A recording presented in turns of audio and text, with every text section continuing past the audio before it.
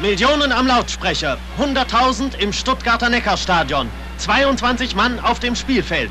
Seit Jahren hat kein Wettkampf solche Spannung, solche Begeisterung ausgelöst wie der erste Fußball-Länderkampf nach dem Kriege. Die Schweizer Nationalmannschaft kam als willkommener Gast und gefürchteter Gegner. Wie würde die noch unerprobte deutsche Elf gegen die international bewährte Meisterklasse bestehen?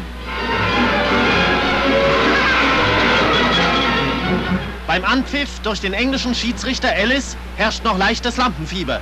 Aber schon kurz danach geht die deutsche Mannschaft mit Volldampf zum Angriff über.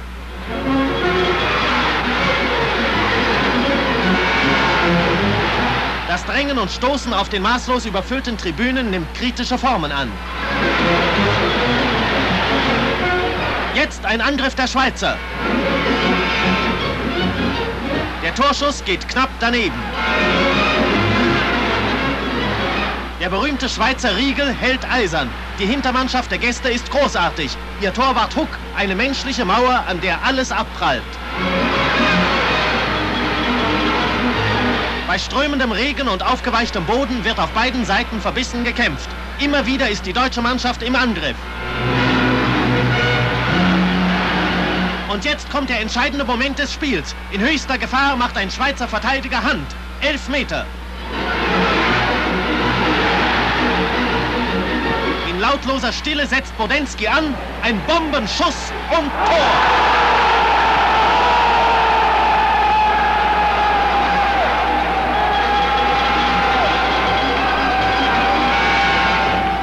Die zweite Spielhälfte beginnt. Die Schweiz drängt nach Ausgleich, die deutsche Mannschaft nach neuem Torgewinn.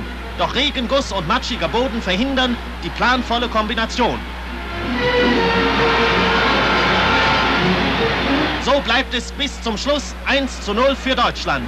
Ein fairer Kampf, ein Festtag des Sports.